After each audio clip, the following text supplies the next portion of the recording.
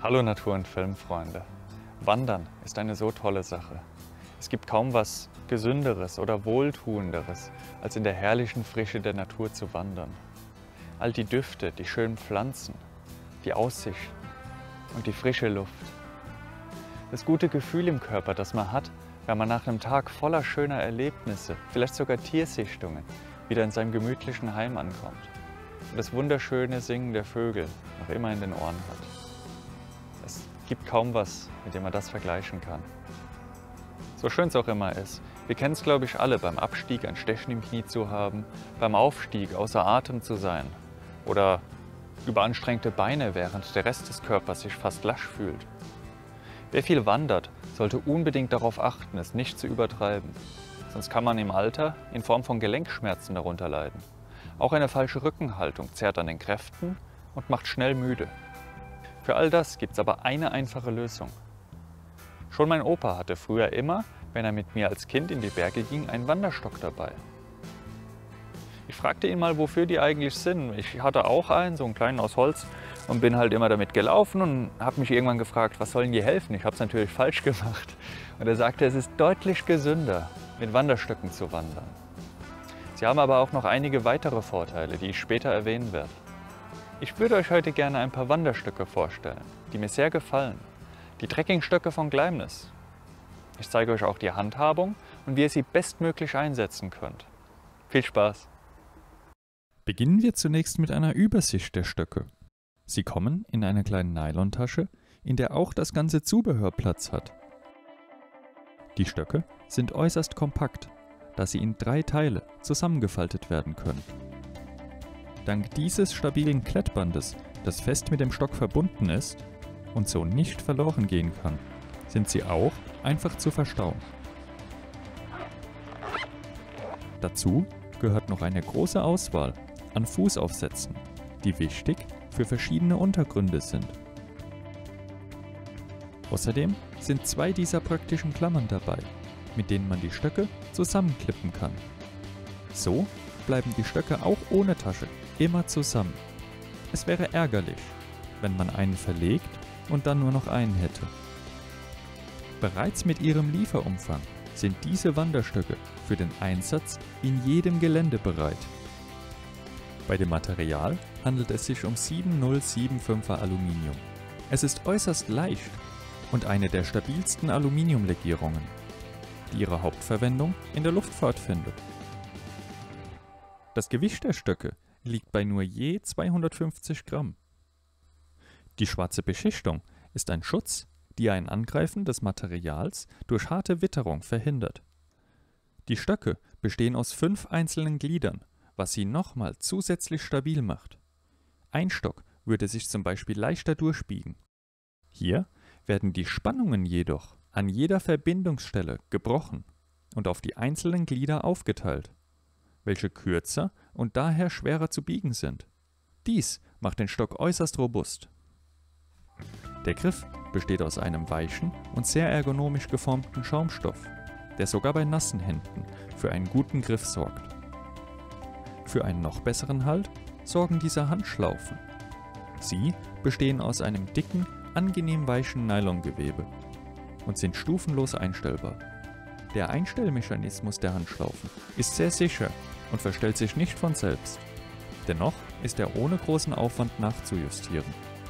Möglich ist dies durch einen mit der Schlaufe verbundenen Kunststoffkeil. Gelöst wird dieser durch Zug am losen Ende Danach kann man die Größe der Schlaufe ganz einfach durch Ziehen am losen Ende oder am oberen Riemen der Schlaufe einstellen. Der Keil sollte dabei etwas festgehalten werden. Der Keil lässt sich wieder hineinziehen, indem man am unteren Riemen der Schlaufe zieht. Der Aufbau der Stöcke ist sehr einfach und nutzerfreundlich gehalten. Die einzelnen Glieder werden durch einen starken Stahldraht zusammengehalten. Damit dieser nicht an dem Aluminiumgestänge reibt, und es so abnutzt, ist der Kunststoff ummantelt. Man kann den Stock einfach vertikal halten und hängen lassen. So hat man nur noch das Glied mit dem aufgedruckten Pfeil nach unten zu ziehen, bis ein Knopf hervorspringt. Man muss nur darauf achten, dass die Glieder nicht verkeilen und sauber ineinander gehen. Um sie wieder zusammenzupacken, muss man nur diesen Knopf drücken und das Glied mit den aufgedruckten Pfeilen wieder hineinschieben. Danach kann man den Stock ohne Kraftaufwand gut auseinanderziehen und schnell wieder verstauen.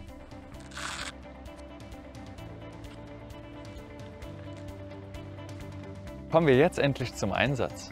Setzt man die Stöcke nämlich richtig ein, hat der ganze Körper was davon. Und Steigungen beginnen richtig Spaß zu machen.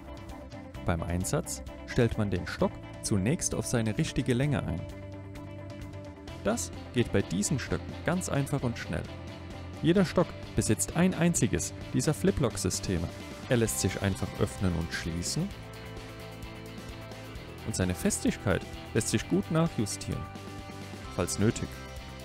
Die Stöcke lassen sich von 1,10 Meter bis 1,30 Meter einstellen und sind bei meiner Körperlänge von 1,97 Meter noch gut verwendbar. Die richtige Länge hat man eingestellt, wenn die Elle einen 90 Grad Winkel zum Oberarm hat. Geht man bergauf, ist der Stock dementsprechend zu verkürzen sowie bergab zu verlängern. Beim Laufen in der Ebene ist es zum einen sehr gesund mit Wanderstöcken zu wandern, da die Arme auch etwas zu tun haben und somit der ganze Körper eingesetzt wird. Des Weiteren helfen die Stöcke sehr, wenn man einen schweren Rucksack hat. Die Wirbelsäule und die Gelenke der Beine werden dabei ein gutes Stück entlastet. So lässt sich die Natur auch mit viel Gepäck deutlich mehr genießen. Beim Bergablaufen sind die Stöcke eine sehr große Entlastung für die Beingelenke und fördern die Muskulatur in den Armen. Man tritt ohne die Hilfe der Wanderstöcke deutlich härter auf und schadet seinen Gelenken unweigerlich. Durch die Hilfe der Stöcke geht man automatisch schonender.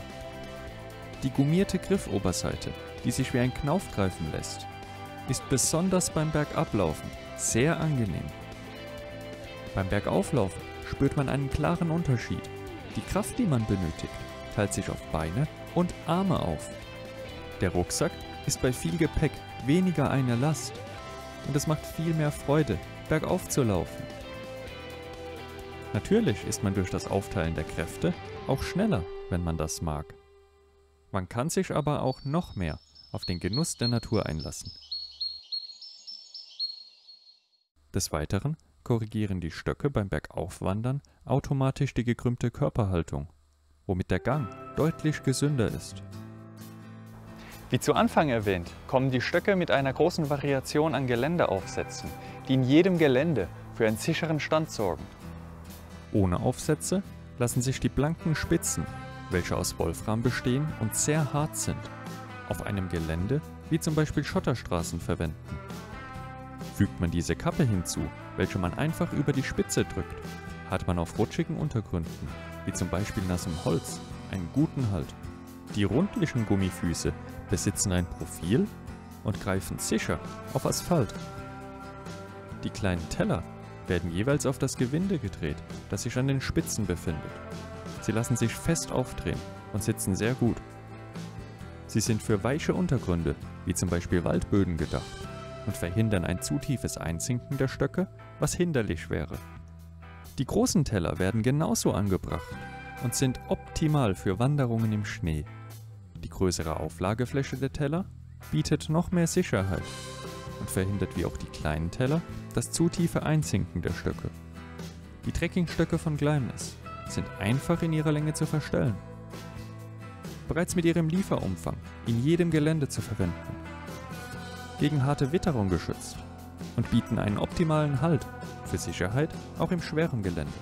Zudem sind sie dank des Materials und eines intelligenten Aufbaus äußerst stabil und dennoch überraschend leicht. Mit der richtigen Anwendung hat man selbst bei sonst schwerem Gelände richtig Freude beim Wandern. Und dank des geringen Gewichts stören die Stöcke überhaupt nicht. Das kleine Packmaß gefällt mir ganz besonders gut, da ich meine Ausrüstung gerne im Rucksack verstau. So bleibe ich nirgends hängen und bei Zugreisen zum Beispiel habe ich nicht das Gefühl, die Leute zu sehr zu belästigen. Vielen herzlichen Dank nochmal an die Firma Gleimnis, die mir durch das zur Verfügung stellen des Materials dieses Video erst ermöglichte.